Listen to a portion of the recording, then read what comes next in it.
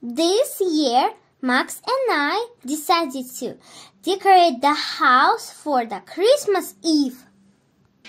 Just to make sure parents don't see our surprise, we decided to leave them in the basement.